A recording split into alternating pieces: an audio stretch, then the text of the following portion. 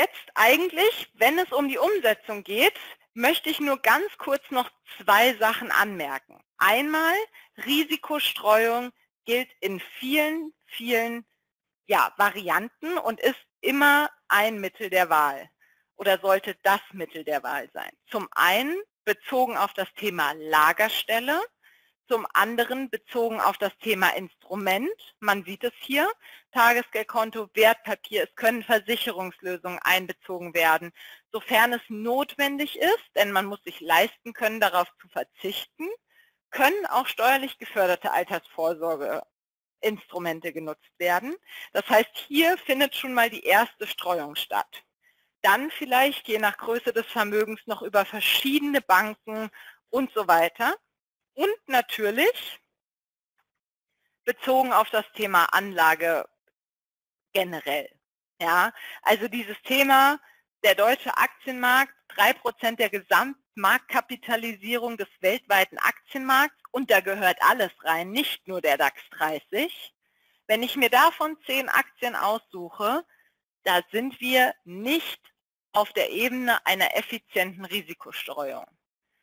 Das kann ein Mittel der Wahl sein, wenn man sagt, okay, ich möchte aber bewusst nochmal diese Einzelrisiken eingehen. Es zeigt sich aber eben einfach, dass insbesondere im Sinne einer langfristigen Strategie eine handwerklich saubere Streuung über viele verschiedene Anlageklassen, aber auch innerhalb jetzt als Beispiel, weil wir hier gerade sind, der Anlageklasse Aktien, einfach eine breite Streuung sinnvoll ist.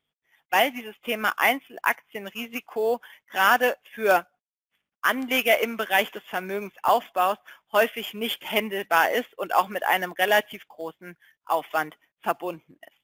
Das heißt also hier nicht nur auf Deutschland beschränken, nicht nur auf den DAX beschränken, breit streuen. Es gibt heutzutage, dazu komme ich auch nochmal, so viele effiziente Instrumente, wie man kostengünstig und mit wenig Aufwand sehr, sehr breit streuen kann. Man muss sie nur nutzen und wenn man selbst nicht weiß, wie es geht, dann holt man sich eben Hilfe, aber es macht keinen Sinn, Einzelaktienrisiken einzugehen und damit eben entsprechend vielleicht auch Risiken einzugehen, die über der Risikobereitschaft liegen, zumindest nicht ausschließlich. Ja, ich möchte hier jetzt nicht sagen, dass Einzelaktienanlagen äh, kein Mittel der Wahl sind. Das können sie sein, aber man muss es dann eben bewusst tun.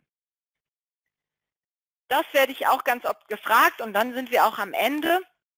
Naja, aber woher weiß ich denn jetzt, wann der richtige Zeitpunkt ist zum Investieren? Da muss ich sagen, das weiß ich auch nicht, weil wenn ich es wüsste, dann wäre es super. Ja, also muss man sagen, wenn man es nicht weiß und wenn alle ehrlich sind, dann weiß es ja niemand. Ja, ähm, wenn ich mir darüber im Klaren bin, dass ich es nicht weiß, dann sollte ich auch aufhören zu versuchen, zumindest auch hier wieder, ja, mit dem Gros meiner Anlage. Das heißt nicht, dass ich ab und zu auch mal kleinere Timing-Themen spielen kann. Aber mit dem Gros meiner Kapitalanlage sollte ich mich von dem Gedanken des Markttimings einfach verabschieden und sollte sagen, okay, ich baue mein Vermögen ratierlich vielleicht auf anhand eines Sparplans und nehme so eben dieses Timing-Risiko raus. Denn Sie sehen, wie schnell es gehen kann, dass Sie, wenn Sie nur die 25 besten Tage im Zeitraum von 1988 bis 2014 verpasst haben, liegen Sie schon unter dem europäischen Geldmarkt. Also muss man sagen, nicht besonders attraktiv.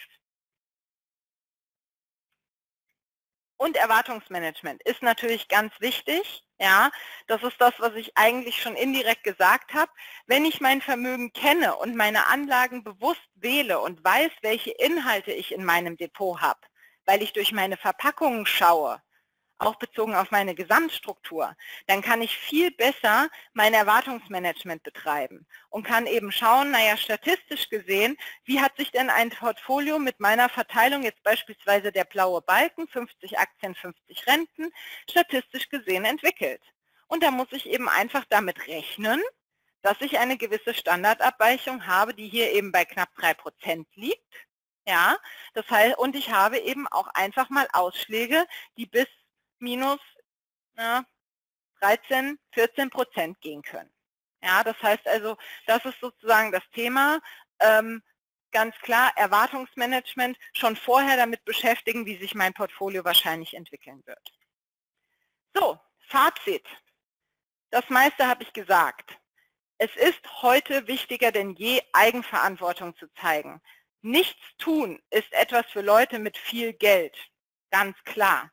Und gerade wir Frauen können es uns eigentlich nicht leisten, nichts zu tun, weil sich bei uns noch andere Faktoren ergeben, die es uns gerade im Ruhestand eben schwieriger machen. Stichwort Gender Pension Gap. Dazu finden Sie übrigens auf der Landingpage, die ich für Sie ähm, erstellt habe, auch noch nähere Informationen und auch eine aktuelle Studie. Gleichzeitig, das habe ich gesagt, ebenso indirekt, gibt es einfach heutzutage eine Vielzahl von unglaublich tollen, sehr effizienten Produkten am Markt, bei denen es eigentlich wirklich viel, viel mehr Möglichkeiten gibt, als das noch vor 10, 20 Jahren der Fall war. Das heißt, die größte Herausforderung besteht für uns Anleger eigentlich darin, die richtige Strategie zu finden, die zu einem passt und die man durchhalten kann und die alle relevanten Faktoren mit einbezieht. Das ist sozusagen die neue Aufgabenstellung und die Aufgabenstellung besteht jetzt nicht mehr unbedingt darin, den Fonds zu finden mit den geringsten Kosten, weil da gehen Sie auf eine Plattform und dann zeigt die Ihnen den nämlich an. Was ist gute Beratung? Das brauche ich Ihnen eigentlich jetzt auch nicht mehr großartig zu sagen, denn Sie sind ja sehr informiert. Aus meiner Sicht ganz klar, sie sollte transparent sein, Sie sollte nachvollziehbar sein. Man sollte klar erkennen können, welche Interessen an welcher Stelle wie vertreten werden, wie das verteilt ist, welche Kosten anfallen. Und ich finde, gute Beratung erkennt man vor allem an der Vernetzung verschiedener Themenbereiche. Das ist ganz, ganz wichtig.